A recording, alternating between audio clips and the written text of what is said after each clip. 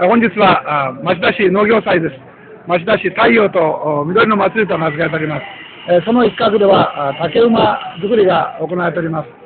えーこちらはあ本来はこの参加する人があこのお習いながらあ作るのだろうと思いますが、なかなか難しい工程です。まあ、あ JA 町田の皆さんがそれぞれ竹馬を作られているところです。青竹を材料に、えーこのお竹馬を作られております。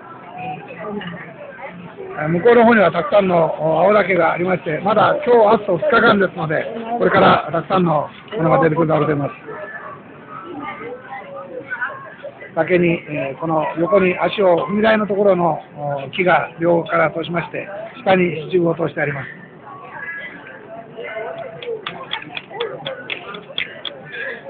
それは大体参加する人に作ってもらうやつですかでもないじゃない。これは、あ、作ったものをあ渡すんです。こちら、いや、あ、自分で作ったらなかなか難しいんですね、これは。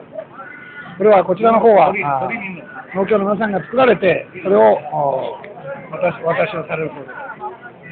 え1台いくらでしたか ?1 台、1台300円で販売をされて合法農協の皆さんが合法紙で作られております。こっちは自分だけに映ってるのね。はい。こっちは何もしてない。はいそれで加わらずか。針金で、針金で縛って見事なものができます。向こうは草履作りはあの指導をされて、そうだね。作ってもらってそうそう30分間です。かかるんですよ、あれは。で、あれも向こうの草履がかかるんや、あれは。竹馬作りです。小さい頃は、あこういうのでよく遊びましたが、いや、それ、それだけ。それ、それ見なくていいの？で、これで、これは太いね。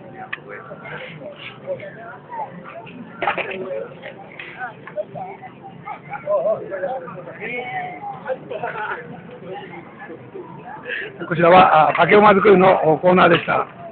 たくさん今あ出ておりまして、1台300円で、えー販売をされております。太陽と緑の祭りでした。